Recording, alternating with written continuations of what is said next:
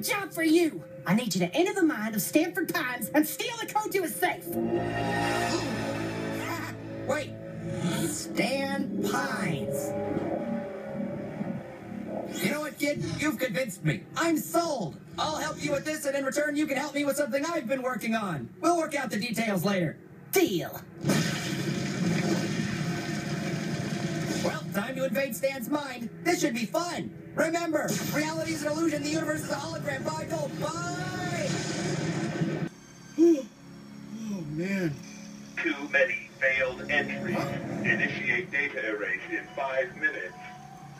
No, no, no, no. I'm gonna lose everything? I only have one more try? Well, well, well, well, well. Someone's looking desperate. Thought I told you to leave me alone. I can help you, kid. You just need to hear out my demands.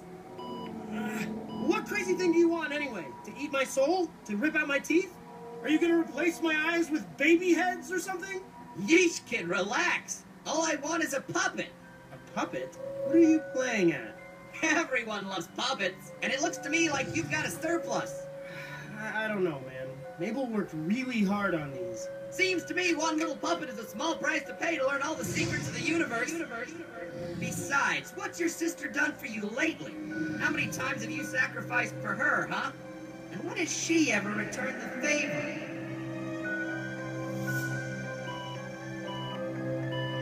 Tick tock, kid. Just one puppet? Fine! So, what puppet are you gonna pick anyway? Hmm, let's see.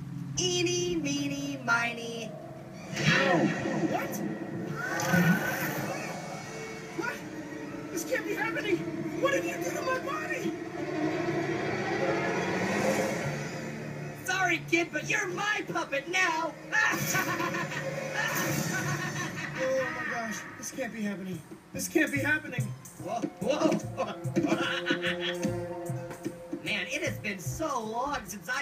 I've a body. Woo! Woo! Pain is hilarious. And two eyes? This thing's deluxe. Yeah. I don't understand. Why are you doing this? I thought we had a deal. Look, kid, you've been getting way too close to figuring out some major answers. I've got big plans coming, and I don't need you getting in my way. You know, I'm impressed with you guys. You're a lot more clever than you look, especially the fat one. He's talking about you. So I'm gonna let you kids off the hook. You might come in handy later. I know this. A darkness approaches. A day will come in the future when everything you care about will change. Until then, I'll be watching you.